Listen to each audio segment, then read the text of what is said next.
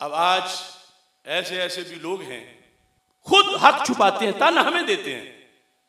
बल्कि उर्स की दुआ मांग रहे हो तो हमें खताई कहते हैं।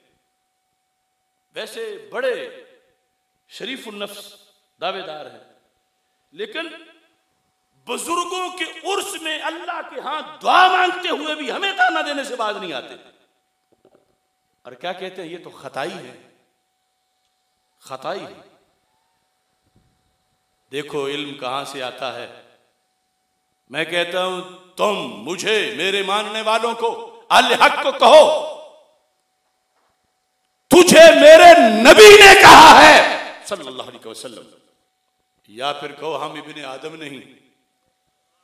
इब्ने आदम का पतला इब्ने आदम बंदे का पुत्र। जेड़ा बंदे का पुत्र है, उसने तो खता की है। मैं नहीं कहता। ये हदीसों का सदरक करो। अबू दाऊद करो। मुसनद इमाम अहमद करो। इबन माजा करो। ये मुसनद इमाम अहमद है। जल्द नंबर चार है। हदीस नंबर तेरह हज़ार अस्सी है। रदी अल्लाह तआला से रवायत है। काला सल्लल्लाहु अलैहि कुल्लो बनी आदम खत्ताउन। खत्ताउन। खताई तो छोटा सा है, ये खताई है। कसीर खता कसीर खता है कौन? जो भी आदम का बेटा है। ये हमें गाली देने वाले या तो अपने आप को कहें असी बंदे दे पुत्र ही नहीं।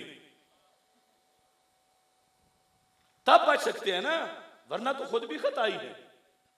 क्यों? हदीस है, कुल्लो बनी आदम, कुल्लो बनी आदम, कुल्लो बनी आदम। अब ये मुस्तदरक हाकिम है। इसका ये जिल्द नंबर पाँच है। सब हदीस नंबर सात हज़ार छह सौ इक्यानवे है। इसमें तो बाबी खत्ताई का है। बाबी, अब ये देखो, दोनों किताबें, अभी और निकालूँगा। दोनों किताबों में लिखा है, कुल्लो बनी आदम खत्ताउन। हज़रत आदम की नस्ल में से जो भी है, वो खताई है। इन लोगों को हक से टक्कर की ये मार पड़ी है। अब ये गाली किसको दे रहे हैं? देखो ना मियाँ साहब, या तो अपने आप को लिस्ट बनी आदम से निकाल के साइड पे कहें कि तुम तो खताई हो, हम नहीं है। और अगर बनी आदम में ही रहना है तो इसमें तो सरकार का फरमान है, कुल्लो बनी आदम खत्ताउन।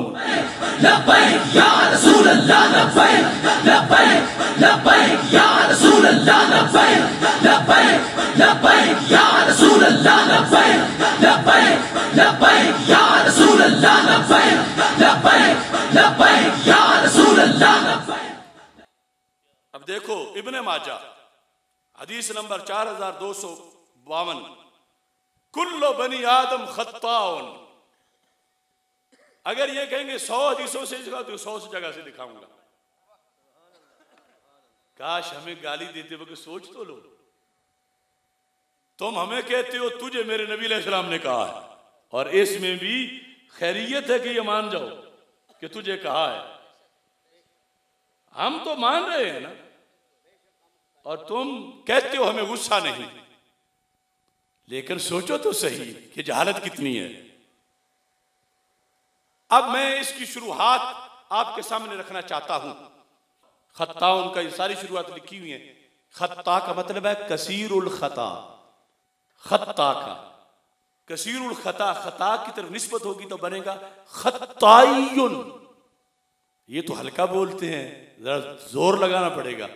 सिर्फ़ खताई ना कहें, खत्ताई। खत्ताई। और आगे सरकार के लफ्ज हैं, खैरुल खत्ताइन अत्ताहिबून। लेकिन खत्ताई है, और खत्ताई में खैर ताइबून है।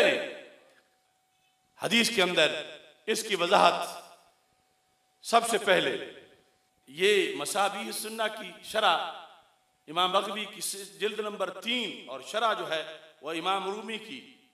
इसमें इन्होंने वजाहत की है। कहते हैं, हाजा यउम्मो जमिया बनी आदम। कुल्लो बनी आदम।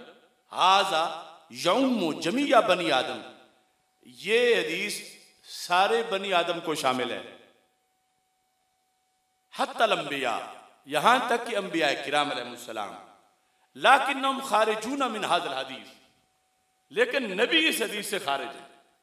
शामिल होने के बाद लेकौन हिम मासूमी इस वास्ते कि वो मासूम है। अब इश्तिहादी वाला मसला अलग है क्योंकि वो मासूम भी खता इत्यादि तो कर सकता। है वह अम्मत मनकूला तो अम्बाजहिम फरमाया, जो जल्लात, यानी लफ्जें अंबिया में से बात से नकल है, फातुह मालो अलल खता वन निसियान। उन लफ्जों को खता कहा जाएगा, निसियान कहा जाएगा, कौन सी? मिन गैर यकून कसदुन इला कि जो इरादे से नहीं हुई, गैर इरादे की हुई। यानी खता गैर इरादी कहा जाएगा। नबी की जब खता होगी, या इतिहादी होगी, या गैर इरादी होगी, यानी इस अंदाज में इसकी वजाहत की गई शरा मसाबी ही सुन्ना के अंदर। आगे दूसरे नंबर पर। अब ये देखें मफाती शरा मसाबी जिल्द नंबर तीन, कुल्लो बनी आदम खत्ताउन। कहते हैं कि उम्मत में फिर दो धड़े हैं। अम्बिया सलाम के बारे में रवाफत से हटकर कुछ कहते हैं, कबीरा से तो अंबिया मासूम हैं, सगीरा हो सकता, लेकिन हम अहल सुन्नत व जमात जिस मसलक के हम नुमाइंदा हैं, हमारे नज़दीक अम्बिया कबीरा से भी मासूम है, सगीरा से भी मासूम है। इसके होते हुए कहते हैं, अमन काला बादुम मासूमूना अनिसगायर कमाहुम मासूमूना अनिल कबायर जालू हाजी जल्लात अल मनकूला अनिल अम्बिया अलैहिस्सलाम अलल खता व निस्यान मिन गैर यकून लहुम औला। कहा, जो कहते हैं कि अम्बिया कबीरा तो नहीं कर सकते, सगीरा कर सकते हैं इन्होंने उनके मुकाबले में ये मज़हब औला है कि ना कबीरा कर सकते हैं, ना सगीरा कर सकते हैं। और जिनका ये मज़हब है, यानी हम आले सुन्नत तो फिर ये जो खताएँ हदीस में जिनका ज़िक्र है तो कहते हैं इन सब खताओं से मुराद वो खताएँ हैं जो गैर इरादी तौर पर हुई। ना कबीरा गुना है ना सगीरा गुना है। या तो इनको गैर इरादी कहा जाएगा, या फिर इनको इजतिहादी कहा जाएगा। ये लिखकर इन्होंने अकीदा हदीस से हमारे लिए अखज किया, हदीस के लिहाज से कि हमने ना हज़रत हाफिजुल हदीस ने यह अकीदा घड़ा, ना आला हज़रत ने घड़ा। ये अशियातलमात है, ये मिरकात है, शरतीबी है, सब के अंदर इस चीज़ को बयान किया गया। कि खता इजतिहादी से तावील की गई हदीस की, या खता गैर इरादी। ये मानकर कि नबी ना कबीरा करते हैं, ना सीरा करते हैं। मासूम है। कबीरा गुना से भी और सगीरा गुना से भी। इसके साथ लफ्ज खता को साबित किया और फिर उसकी आगे तावील की कि खता होगा गैर इरादी अमल। गुना नहीं। ना सगीरा गुना है, ना कबीरा। और फिर, या खता इजतिहादी। खता इजतिहादी के लिहाज से मिरकात में मुला लिकारी लिख रहे हैं इस हदीस के साथ। शाह अब्दुल हक मोहद्दर से दिल भी रख लिख रहे हैं अशियतुल्लमात के अंदर इस हदीस के साथ तहत यानी ये हमने अपनी तरफ़ से आज आके नहीं घड़ा ये हदीस में है। हदीस के बाद चौदह सदियों के इमामों ने लिखा है। लफ्ज खता मान के, मासूम नबियों को मान के कबीरा सगीरा से मासूम मान के फिर भी इस चीज़ को बयान किया। अब हमारे खिलाफ कोई तकरीर करे, नबियों की मासूमियत साबित करता हुआ तो वो पागल है, इसका इनकार कौन करता? कबीरा से भी मासूम है, सगीरा से भी मासूम है, और हदीस भी सही है।